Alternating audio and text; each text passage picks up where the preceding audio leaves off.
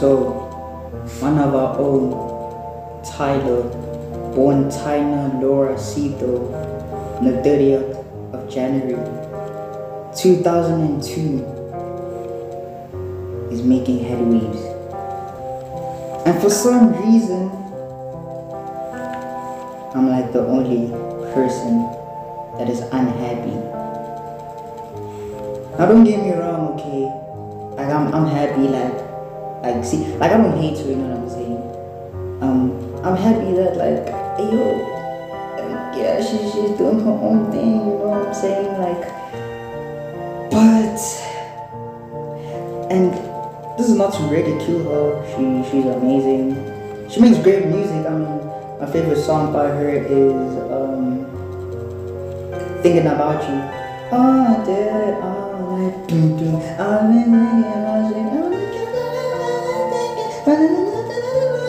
Like, I, sound like a fan right now. And on top of that, she is beautiful, very beautiful. Um, I've probably had like a little crush on her that I probably didn't even know about. I mean, yeah, other niggas are crushing on her, and she's crushing what she's doing. Um, you know, her own thing.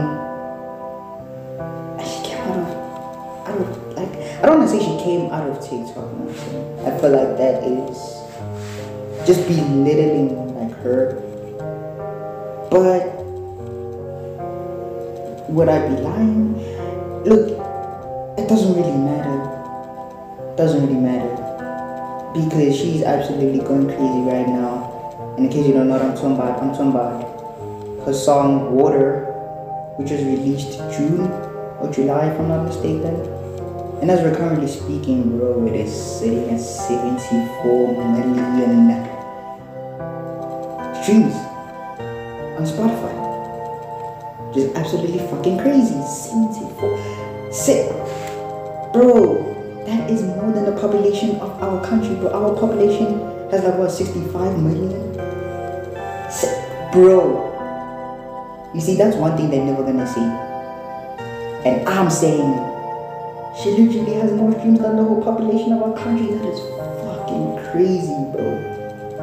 Fucking crazy, bro. And I feel like the only artist that we've seen come close to this. Okay, I, I might be mistaken. I might be mistaken. But me personally, the only artist that I've seen come close to this is Nasty C. And it wasn't his track. It was a track he was featured on. Um, the song that I'm talking about, particular dope track. Uh, it's currently sitting. Well, last I checked, it was at like 19 million. So correct me if I'm wrong in the comments and tell me who's come closest to breaking mainstream for an artist that comes from South Africa.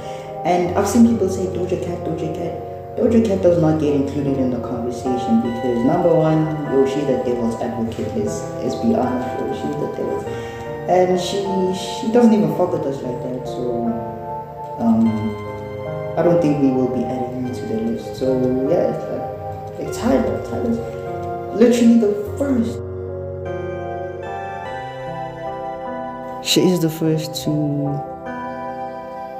have broken into mainstream media from from South Africa, and I really don't have a reason to be upset. To be honest, like I don't know, she is talented. I'm, not saying she's a one-hit wonder. I'm, I'm not. I'm not saying any of that. I'm not even gonna say pretty privilege. She's talented. I mean, she, she got signed to to Epic Records in 2021. Crazy. From from a single getting late, she's been going crazy ever since. And what's ironic is I was actually during that time I was gonna make a video about her. If I did, it would have been ironic because I was gonna talk shit. And when I say talk shit, bro, I'm not even saying like as to her music or what. As I said, her music is not trash, bro. But I was basically what I was gonna talk about, and I still remember, I was gonna talk about her deal with Epic Records. I was gonna talk about how record labels are not just fucking people up in general, but like our people in general. Because when we look at Elaine, she literally only dropped one project And we've seen multiple pictures of her in the studio with multiple artists. But we saw Elaine in the studio with Jay. Is it, is it Jay Electronica? We saw Elaine in the studio with Sabrina Claudio. Where the fuck are those songs, bro? How many international artists has Nasty C been posted up with? Post Malone, DaBaby. Where are those songs, dog? Where are those songs? Bruh. And that that's really what I was gonna like talk about how we should stay away from these major labels because they're fucking us over. I mean, bro, they literally ended some people's careers, but like they've kind of put things to a stop. But here we are. Fast forward. She's killing it. She's on first bro, first South African to break the Billboard Hot 100 in 50 years, bro. The last person to do this was Hugh Masekela, dog. 50 years, bro. But I'm not happy. And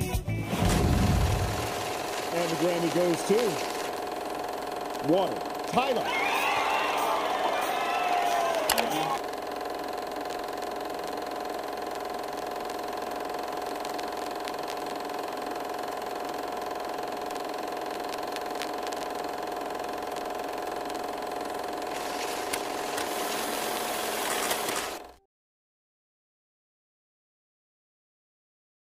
Another thing, I was always like, why do South Africans, why do we always have to be put in these smaller charts and not even charts, categories, my nigga, categories. When it comes to Grammys, why do we always have to be, be put in best international art, like international artist?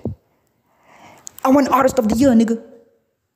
Artist of, don't put me in, in a fucking subcategory, bro. Put me in the main category. It's! It's! These not facts. These facts not facts. That was my chat. And that shit has basically happened now. But I'm not happy. Why am I not happy? Just because I'm an artist too. You know what I'm saying? I guess I'm venting right now. I thought I'd be the first to break mainstream, you know what I'm saying? Which is it's crazy, bro. It's crazy. I know. But I, I thought I'd be the first, bro, because in my head, apart from the music, in my head, in my head, I'm a marketing genius. Let me say that. In my head, I'm a marketing genius, and it's like I know of the ways to actually get my music out there. It's like I, I have the blueprint, even though I might not be using it as of currently. But it's like in my head, I'm a marketing genius, and it's like I got some songs, bro. I got, I really got some songs. Not just, yeah, I'm gonna make those songs. I got some songs that I feel like, yo, could be on the billboard. That shit, that, that's crazy hearing that. But I guess it's because like I'm a dreamer. Like I dream a lot. I should be sleeping and dreaming. Dreaming of, yeah, being the first to do this, being the I mean, dog, as an artist, they would have hit different to be like, yeah, I was the first artist from South Africa to be on the billboard in 50 years, nigga. So why am I unhappy? It can't just be at the fact that I wish I was the first to, you know, blow up, go mainstream. In the future, it could be like, I put this type of energy out in the universe, hence, I'm getting it back. And, you know, something happens to me in the future and my, my music career just goes down the drain, something like that, bro. But like, it's not even that. I'm saying I'm just genuinely be honest. Like I'm, I'm unhappy, bro. I think I've stated everything that I wanted to state. Look, I guess the anti anticlimax of this all is, look, I might not be the first, but I'm definitely gonna be the second. Like that's that's my mindset right now. Might not be the first, but I'm gonna be the second. Trust. And, hey man, as I said, I'm a big dreamer. I dream a lot. Man, if I had to tell you about some of my dreams, like, you know, I'm, I'm trying I'm trying to get the number one spot on, on Billboard Hot 100. You know what I'm saying? You know what I'm saying?